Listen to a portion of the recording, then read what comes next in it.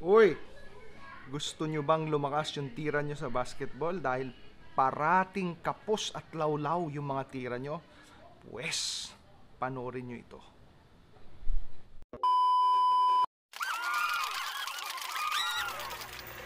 Ako nga uli.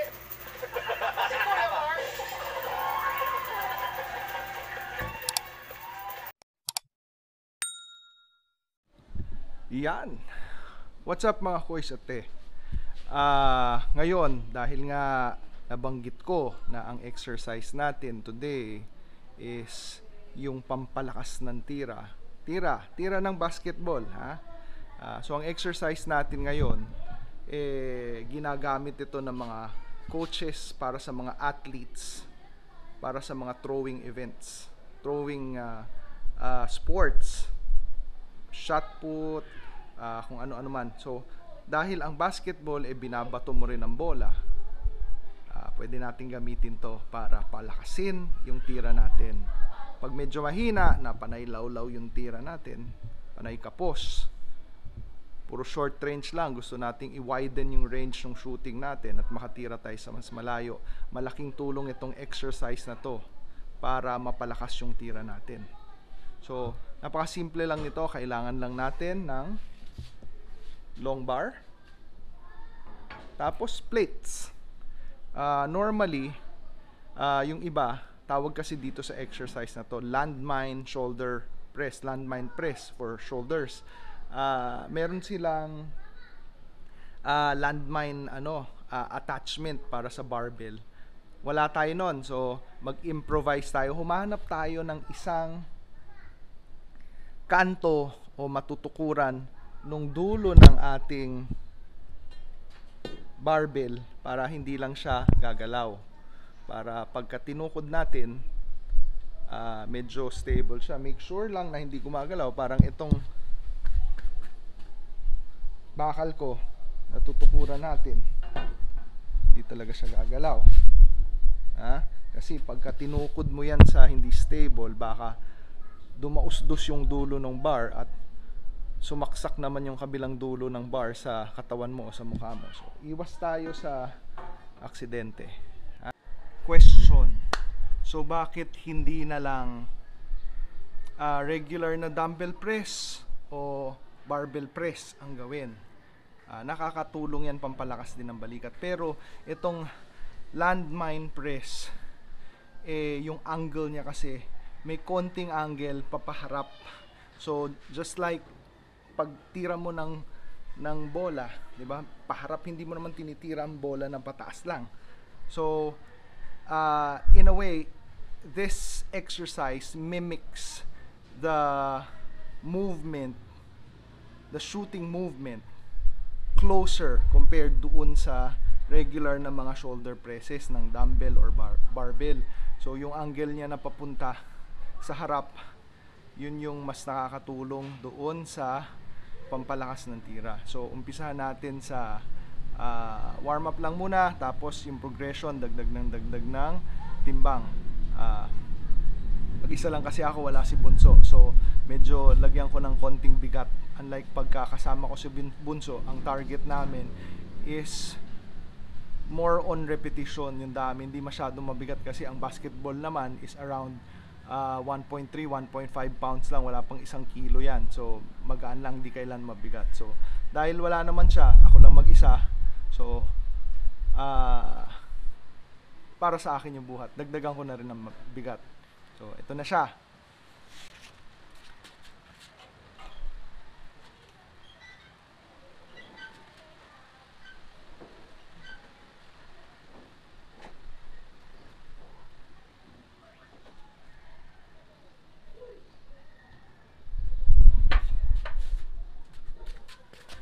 Itinutulak mo lang yung bola paharap.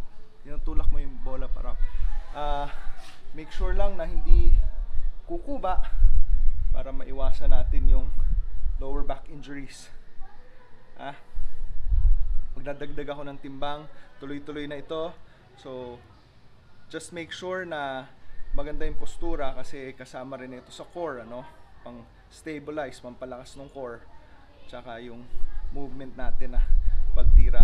Wag lang kukuba, iwasan natin yung kukuba para maiwasan ng injuries.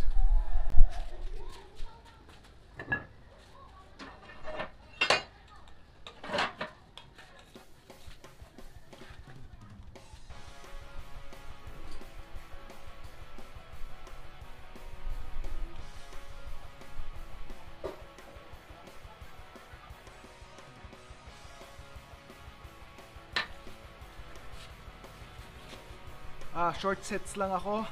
Ah, puro 6 reps lang.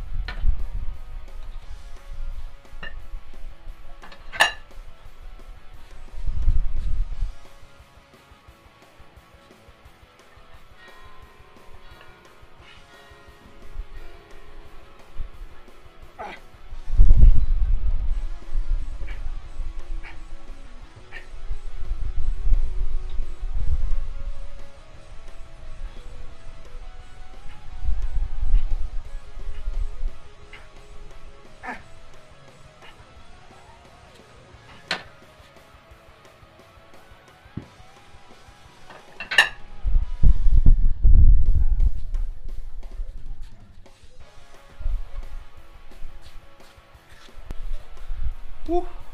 Medyo feel ko na, no? Dagdag ako ng timbang pero constant yung repetition ko. Puro 6 lang muna.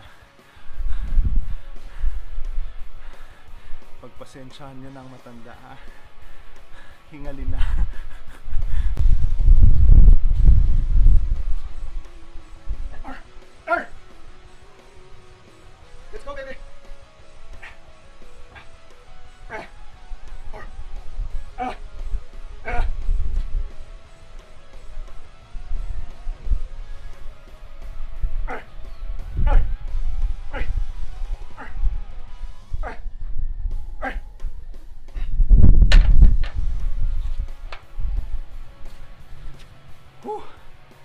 Konti pa. Tapos, pag medyo pumalya na, mabawasan ko na yung timbang. Habol na tayo ng reps. So yan, ah ah six weighted sets na ako. Ah hindi kasama yung warm up. Dalawang set para 8 sets. Sasarado na ako. Sasarado ko na ng 8 sets tapos mag bababa na ako ng timbang.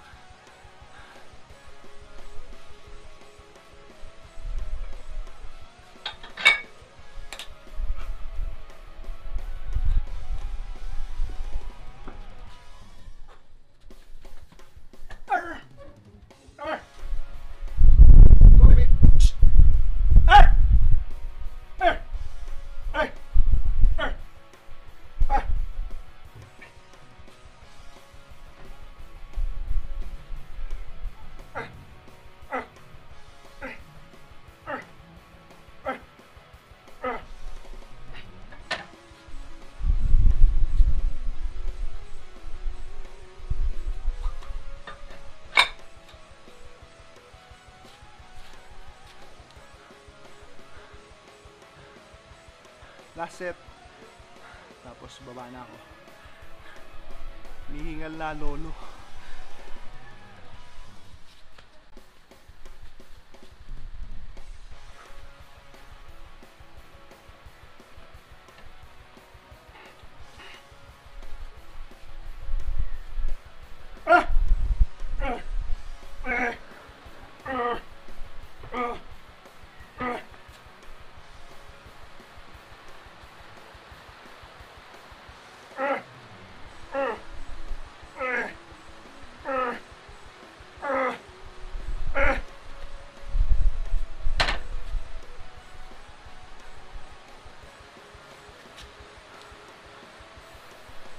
So pahinga muna. Tapos magbababa na ako. Maglo-long sets na. Leta. Ah, time check. Ah, 4.12 ng hapon. Ah, medyo lambot na ako kasi mula umaga pagising ko hanggang ngayon wala pa akong kinakain. Ah, fasted. Nagpa-fasted fasting ako. Ah, kailan maglinis. So medyo lambot na, ang hirap magbuhat pagka walang energy, walang carbs, walang kinain. So tatapusin ko na lang to. Ah, bawas timbang tapos bubugbugin ko na lang sa repetition. Tapos tapos na. Yun na yun.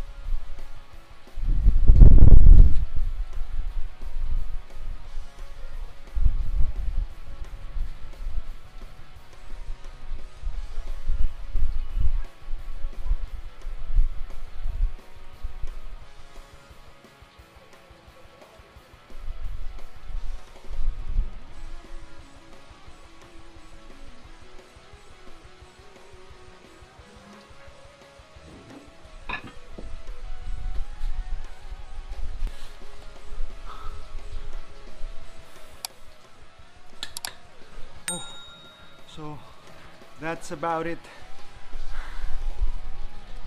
Kung nahihinaan kayo sa tira ninyo, laging lawlaw ang tira nyo sa basketball, hindi kayo makapaabot galing sa 3-point line or area ng tira ninyo, itry nyo itong exercise na to. Garantisado, lalakas ang tira nyo.